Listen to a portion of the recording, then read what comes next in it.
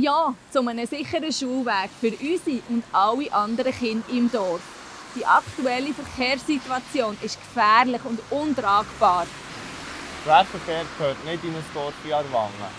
Wir als Anwohner haben genug vom täglichen Wahnsinn. Darum stimme ich Ja für diese Verkehrssanierung.